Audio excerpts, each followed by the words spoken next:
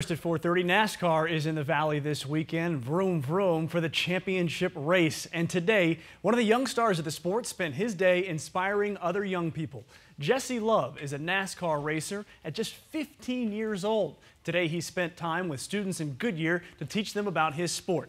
Love started racing when he was just five with go-karts, and he hasn't stopped since. Toyota Racing Development picked him up when he was 12, and now, three years later, this is his first race with NASCAR. He told us about what it's like inspiring these young students. It's really awesome, you know. It's always important to have, you know, good hobbies and, and stuff like that and play some sports. And um, it's always a good thing to, uh, to show the kids, you know, something different and, and get people more involved with racing. Again, the NASCAR Championship race is this weekend, and we will have full coverage on Sunday.